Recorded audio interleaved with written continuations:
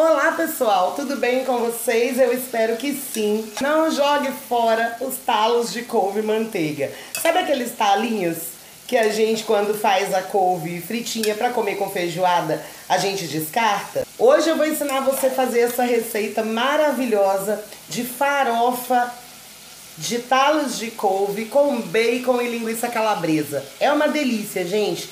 Receita fácil, simples e rápida no instantinho fica pronto. A gente não tem desperdício na nossa casa e faz essa delícia aqui juntinho. Já gostou da ideia? Então já deixa aquele super like, se inscreve aqui embaixo nas letrinhas vermelhas se é novo por aqui. Sejam todos muito bem-vindos aqui na nossa casa com a nossa família. E sem mais demora, vem comigo! Bom, gente, eu vou começar aqui colocando um fiozinho de óleo só para ajudar a fritar o bacon. Eu tenho aqui, pessoal, um pouquinho de bacon, um pedacinho picado aqui. Eu tenho mais ou menos uns 30 quadradinhos bem pequenininhos de bacon. Vou trazer aqui pro óleo e vou deixar ele fritar até ele ficar douradinho. Então eu vou fritar o bacon aqui sem nada, tá, gente? Só ele assim mesmo. Olha, gente, agora que o bacon já começou a dourar, eu vou colocar aqui meia calabresa que eu já deixei picadinha. Linguiça calabresa, tá, gente? Pra gente fritar um pouquinho junto aqui com o bacon. Agora, pessoal, que a calabresa e o bacon já tá bem douradinho aqui, olha. Eu deixei ali a mesma vasilhinha que tava a calabresa e vou separar, reservar esse bacon e essa calabresa aqui numa vasilha pra gente usar no final da nossa receita. E vou trazer aqui pra panela os talos de um maço de couve manteiga que eu já deixei bem picadinho. Pra esse, aproveitar esse óleo aqui da, da fritura do bacon e da calabresa.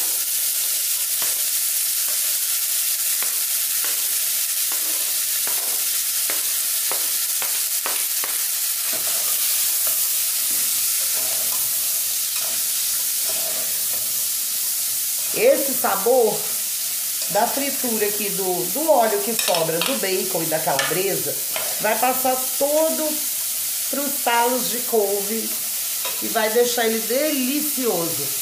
Eu vou deixar aqui na mesa o bacon e a calabresa, a gente vai usar no final da nossa receita. Aí a gente vai dar uma fritadinha assim, ó, só até a gente perceber que já soltou aquele fundinho de panela aqui nos talos da nossa couve. E agora que já apareceu o fundinho de panela, eu coloquei aqui nos talos de couve uma xícara de 250 ml de água e vou colocar aqui junto com os talos da couve e a água uma pitadinha de sal. E a gente vai deixar os talos de couve cozinhando aqui até essa água secar bem sequinha.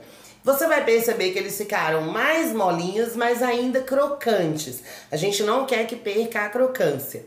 Bom, gente, agora que já começou a ferver aqui os nossos talos da couve, eu vou colocar aqui, vou amassar aqui no espremedor de alho, dois dentinhos de alho, assim mesmo, tá? Eu não quero que frite o alho, não. Se você quiser colocar também amassado no pilãozinho, você pode, tá? Dá uma misturadinha aqui e vou deixar ele continuar cozinhando aqui. Você pode ver que já reduziu bastante a água. Tem mais ou menos uns 5 minutinhos que tá aqui cozinhando em fogo alto. Bom, agora, pessoal, que o nosso talo de couve já tá quase todo seco, tá vendo que sobrou bem pouquinho caldo lá no finalzinho? A gente vai trazer de volta o bacon e a calabresa que a gente fritou e reservou. Vai misturar bem isso aqui. Olha que lindo, gente. Agora que a gente já mexeu bem aqui, olha, e que já tá quase seco, a gente vai desligar o fogo. Nesse momento aqui você já pode desligar. Eu quero que a minha farofa fique um pouco úmida, tá, gente? Não quero que ela fique muito seca, não. Então, nesse momento aqui, você experimenta o sal. Eu já tinha experimentado o meu aqui, já sei que ele tá no ponto do sal, eu não preciso colocar mais. E agora, pessoal, eu vou vir com uma xícara de farinha de mandioca crua. Você também pode usar farinha de milho, se você preferir. E vou despejar aos poucos aqui. Eu vou colocar quase tudo. Olha, deixei um pouco menos de meia xícara. E a gente vai misturar a nossa farofa. Olha só. Isso aqui, gente, vai depender da umidade que você deixou a sua couve. Se você gosta mais úmida e deixou mais caldo, você vai usar mais é, menos farinha, né? Se você deixou ela mais sequinha, você gosta mais sequinha, você vai usar mais farinha. Então a farinha vai ficar a gosto. Vou usar só essa, tá, gente? Usei um pouco mais de meia xícara de farinha de mandioca. A medida dessa minha xícara é 240 ml. Olha só. E olha que linda que fica, gente. Olha aqui, gente. Olha que coisa linda. Essa farofa serve para comer com churrasco. Serve para comer com a sua feijoada. Uma delícia, pessoal. Bora provar. Vocês estão servidos, pessoal? Hum.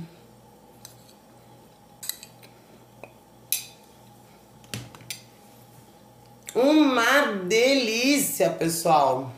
Faz aí na sua casa.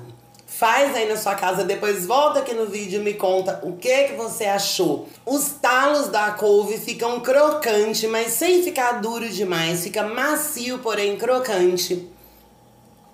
A linguiça calabresa e o bacon dá todo o sabor na sua farofa. E eu tenho certeza que você e sua família vão amar.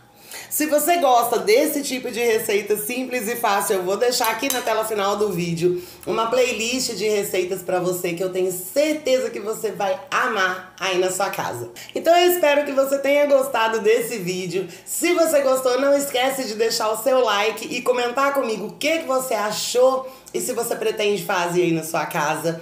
Eu espero você nesses vídeos. Até o próximo! E um beijão no coração de vocês, pessoal!